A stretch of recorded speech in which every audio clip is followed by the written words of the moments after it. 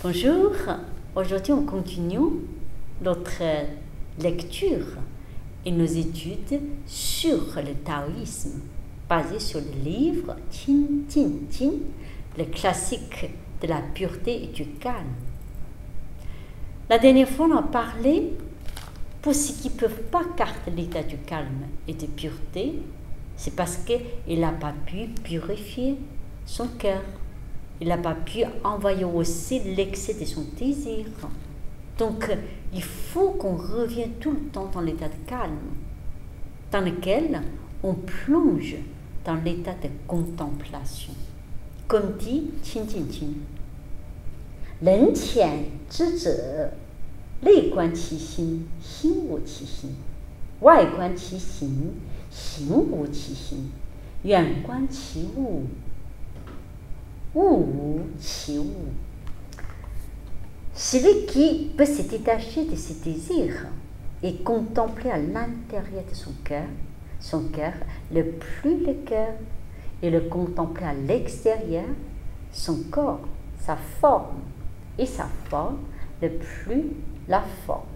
Et contempler au loin les choses, et les choses ne sont pas les mêmes choses.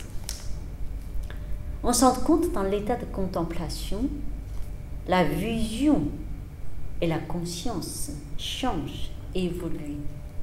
On n'a la même vision sur la même vérité. Parce qu'au début, on voit les choses dans son apparence, dans son côté visible, à l'écart.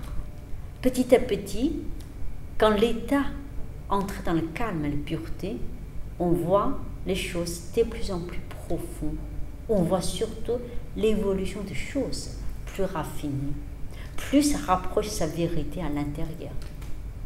Donc grâce à l'état de contemplation, on s'en compte, on change, fin de compte, notre regard envers du monde extérieur.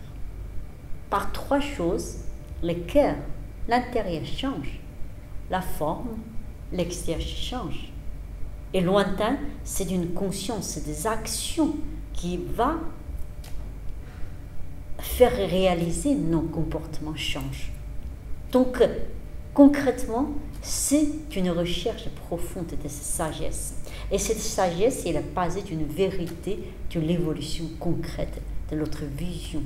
Cette façon de voir les choses de plus en plus grand, de plus en plus loin, de plus en plus claire, de plus en plus directe parce que c'est une unité de l'intérieur et l'extérieur, l'unité de l'homme avec le ciel, avec les entourages, avec les circonstances qui nous entourent.